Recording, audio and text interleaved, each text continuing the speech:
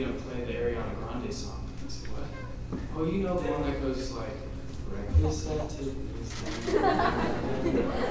I said, no, no, no, no, we're not playing the Ariana Grande song Seven Rings. We're playing My Favorite Things.